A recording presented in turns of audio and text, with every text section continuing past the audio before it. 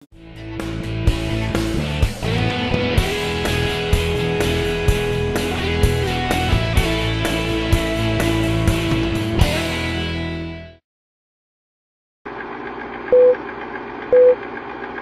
Witam Was bardzo serdecznie, Marek Marat Wysocki, Planszolandia, gry planszowe na wideo.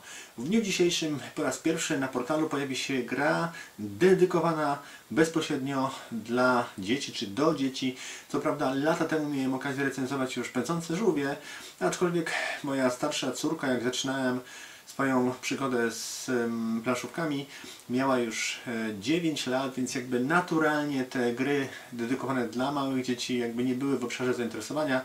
Tym razem moja młodsza córka ma niespełna 5, więc sięga po pierwsze swoje gry, co mnie bardzo cieszy. No i jakby naturalnie do, na jej półkę do naszej wspólnej kolekcji musiała trafić gra e, z cyklu Bajkogra wydawnictwa Portal z takiej linii dwa pionki pod nazwą Trzy Małe Świnki. Oczywiście gra bezpośrednio nawiązuje do bajki e, o trzech małych świnkach i o wilku. W tą grę można zagrać od dwóch do pięciu graczy. Jest na tyle krótka, żeby dzieci nie znudzić około 20 minut. E, Zasady są bardzo proste, klarowne. No i tradycyjnie oczywiście pozwolicie, że pokażę Wam jak wyglądają elementy, jak wygląda ta prosta rozgrywka. No i na koniec powiem kilka słów, dlaczego warto po tą grę sięgnąć. Tradycyjnie zobaczmy, co mieści się w pudełku do trzech małych świnek. Pudełko jest troszeczkę nietypowe, e, bo przypomina tak naprawdę książkę. Otwieramy tą książkę, znajdziemy tutaj oczywiście zasady, bardzo proste. Myślę, że po przeczytaniu nie będziecie mieli kłopotów żadnych. E, Dla dzieci, które nie znają bajki o trzech małych świnkach, mamy dodatkowo jeszcze bajkę. Można przeczytać, to, to wzmocni odbiór oczywiście gry, no i oczywiście same elementy, mamy elementy domków, które zaraz pokażę. Mamy taką kręciołkę, która wskazuje nam, jeszcze pojawi wilk. Oczywiście kostki, karty nagród, czyli widzicie wszystko w idealnym porządeczku. Można nauczyć dziecko, że tak na dobrą sprawę po skończonej rozrywce trzeba tą grę posprzątać. Teraz zobaczcie jak wyglądają elementy. Nawiązując do bajki, w grze znajdziemy trzy domki. Domek słomiany, drewniany i murowany. Oczywiście on składa się z drzwi, okien i dachów. I właśnie z tych domków będziemy budowali e, nasze domki indywidualne dla naszych świnek. Gracze podczas swojej tury z tych domków będą budowali domki dla swoich świnek. Oczywiście możemy zestawiać różne domki ze sobą. Budowę możemy zacząć od drzwi bądź też od okien. Nie możemy oczywiście zacząć e, budowy od, od e, dachu. Oczywiście będziemy mogli zestawiać różne mm, rodzaje. Może to być e, kombinacja tych trzech elementów. Domki mogą być równie e, wysokie, mogą być naprawdę niskie. Wszystko zależy od fantazji e, dzieci. Jeżeli postawimy dach, to w takim domku niestety nie możemy już nic dostawiać, nie możemy żadnych elementów budować. Oczywiście za zbudowane domki będziemy uzyskiwali punkty tyle, ile jest narysowanych świnek. Czyli jeżeli mamy dach słomiany będziemy mieli 2 punkty, drewniane, elementy drewniane będą miały 4 e, punkty. Budowę naszych domków będziemy robili za pomocą e, kości. Mamy 5 różowych kości, na których znajdziemy różne symbole. Znajdziemy symbole zgodne oczywiście z tymi elementami. Znajdziemy symbole drzwi, okien, a także dachów.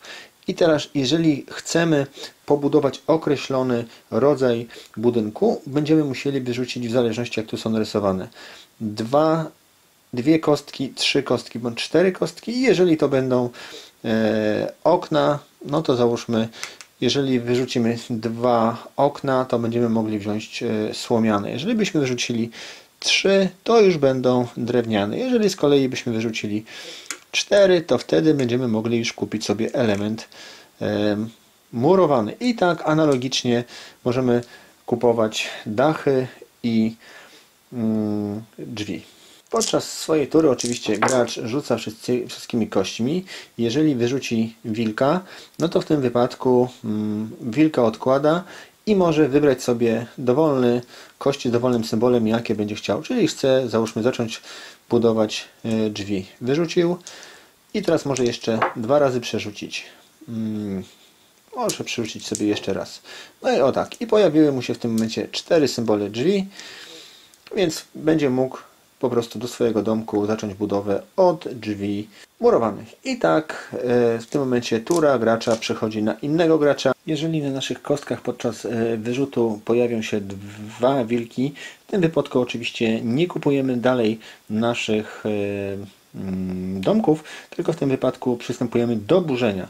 Za pomocą tego kręciołka jedne dzieci mogą dmuchać, nie zawsze to wychodzi na dobre, ale można kręcić.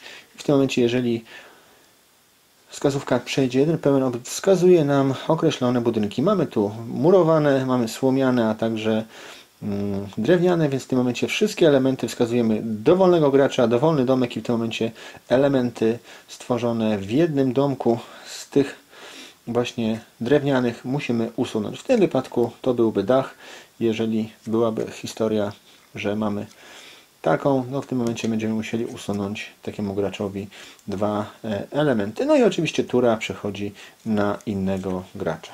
Gramy dotąd, aż w przypadku dwuosobowej gry skończą się dwa stosy, w przypadku trzyosobowej rozrywki skończą się trzy stosy, czteroosobowej cztery, osobowej pięć stosów. Wtedy następuje podliczenie punktów. Dla graczy bardziej doświadczonych, zaawansowanych mamy karty nagród. Przed ostatecznym podliczeniem mm, punktów rozpatrujemy, który z graczy mógł taką kartę zdobyć oczywiście. E, liczymy liczbę kwiatów na naszych domkach. Ten, który ma najwięcej zdobywa taką kartę. Tu mamy domki jednego rodzaju. Jeżeli udało nam się zbudować, dostajemy karty za największą liczbę domków, a także za najwyższy. Oczywiście te punkty zdobyte doliczamy do naszych punktów zdobytych podczas budowy domków. Każdy z graczy podlicza swoje punkty. Oczywiście domki, które nie mają dachów, niestety musimy odrzucić. No i w tym wypadku liczymy zgodnie z ilością świnek na budynku. Dodajemy e, punkty. Oczywiście gracz, który zbierze tych świnek najwięcej, wygrywa rywalizację. Zobaczyliście jak wyglądają trzy małe świnki. Zasady widzicie są bardzo proste. Myślę, że takie 5, 6, 7-letnie dziecko na pewno nie będzie miało kłopotu e, z zagraniem. No pozwolicie, że powiem kilka słów na temat tej pozycji, bo naprawdę warto wspomnieć kilka słów. Przede wszystkim wykonanie. No muszę powiedzieć, że ten pomysł z zastosowaniem takiego e, pudełka w formie książki naprawdę wygląda rewelacyjnie. Co prawda nie jest to pomysł nowy, bo już lata temu wydawnictwo mm, Egmont zastosowało takie, taką pudełko w wzlocie czarownic. Naprawdę na półce wygląda to super. Hmm, oczywiście dodatkowo gra ma tutaj e, wypraskę, czyli można też nauczyć dziecko, że trzeba później wszystko posprzątać, e, trzeba schować, także naprawdę myślę, że same elementy wyglądają super, będą służyły długo, bo są solidne. No, muszę powiedzieć, że był pewien zawód na początku. Bo mm, jak sama nazwa wskazuje, trzy małe świnki, a tu świnek nie ma. Te świnki oczywiście charakteryzują się w grze tymi kośćmi, tak? I no, było pewne rozgaryczenie, e, aczkolwiek jak pokazaliśmy naszemu dziecku, że jest ten wilk, który wypada na kościach i że możemy coś niszczyć, że możemy dmuchać faktycznie ten kręciołek, no nie zawsze tam ma siłę, no, teraz w większości jednak pstryka, aczkolwiek to już zrekompensowało wszystko i myślę, że tak naprawdę wykonanie, cała koncepcja, e, która bezpośrednio nawiązuje do bajki oczywiście o trzech małych świnkach, no to naprawdę tutaj pod tym względem wielki, ogromny plus, bo naprawdę jest to bajko, gra, bo jeżeli dzieci nie znają tej gry, tej gry, przepraszam, tej bajki, no jest oczywiście załączona bajka w pudełku można przeczytać dziecku, dodatkowo wzmocnić odbiór e, tej gry, także pod tym względem to naprawdę koncepcja wygląda rewelacyjnie. No, oprócz tej zabawy naprawdę tu jest szereg takich elementów, które kształtują ten młody e, umysł, bo już w momencie wyrzucania kost, kostek, tak, to dzieci już muszą podejmować decyzję, czy chcą kupić te tańsze, czy droższe elementy, czy potrzebny jest dach, czy potrzebne są drzwi, tak na dobrą sprawę, czyli oczywiście już po kilku rozrywkach dostrzegam że moja córka oczywiście raz, że kontroluje jakie elementy jeszcze zostały na stole, jakich elementów e, będzie budowała domek, bo wie, że jeżeli przyjdzie e, wilk, jeżeli w tym momencie będzie miała jeden drewniany domek, no to jednym dmuchnięciem można ten cały domek popsuć. Więc tak naprawdę różnicuje tutaj te ryzyko, e, jakby dba to wszystko, weryfikuje tak naprawdę. No zaczęliśmy już grać z tymi kartami nagród, także tutaj też troszeczkę inaczej w innym kierunku, bo też e, najczęściej mm, liczy te kwiaty z doniczkami, najczęściej chce wybudować ten najwyższy dom, więc tak na sprawę tu jest szereg takich małych decyzji, które powodują, że no, dziecko się przez cały czas uczy, podejmuje decyzje, analizuje i w zasadzie widzę, że oprócz tej zabawy jest taki no, oczywiście walor edukacyjny, a oprócz tego oczywiście na początku muszę powiedzieć, że ten właśnie element niszczenia tych domków, jeżeli my niszczymy komuś, to oczywiście to sprawia nam wielką radość, ale jak nam ktoś niszczy, no to tutaj pojawia się mały problem i faktycznie też u nas był problem, e, no aczkolwiek to jest jakiś taki element wychowawczy rozmowy z dzieckiem, że faktycznie no, zburzenie kilku elementów, czy nawet całego domku nie powoduje, że tak naprawdę grę przegrywamy, więc już po kilkunastu rozrywkach, no naprawdę już jakby to przeszliśmy na porządek dzienny, aczkolwiek na początku faktycznie był problem, jest to jest taki element pracy z dzieckiem, taki element wychowawczy, więc myślę, że i widzicie, po kolejny element, oprócz takiej zabawy, no mamy, możemy z dzieckiem popracować. Gra jest od 2 do 5 graczy, więc tak naprawdę możemy zaangażować całą rodzinę, nie ma kłopotu żadnego. To jest na tyle krótkie, 15-20 minut, że naprawdę to dziecko się nie znudzi, my się nie znudzimy i mamy naprawdę tutaj ten kontakt tym dzieckiem.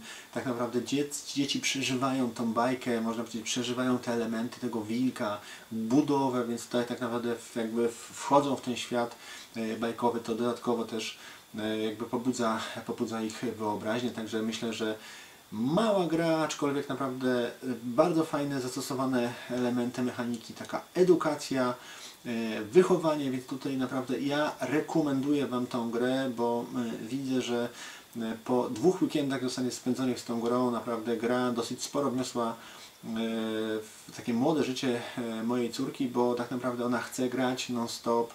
Już pewne decyzje, które na początku były dla niej trudne, teraz już są coraz łatwiejsze. Tak naprawdę wciąga w to dziadków. No, zasady są proste, klarowne, więc myślę, że to nie będzie kłopotu żadnego, żeby zagrać z dziadkami, z opiekunami, więc naprawdę jeżeli szukacie gry dla małych dzieci, chcecie, żeby się dzieci bawiły, edukowały i tak naprawdę taki, żebyście wiedzieli jak dzieci reagują w takich sytuacjach, to myślę, że oczywiście trzy małe świnki, bajkogra od portala z linii dwa pionki, to jest taki idealny, oczywiście mm, idealna gra, która może zacząć taką przygodę z grami planszowymi. Oczywiście Mamy mm, okres gwiazdki, więc myślę, że też można wybrać tą grę jako prezent dla dziecka. Ja ją Wam rekomenduję z czystym sercem.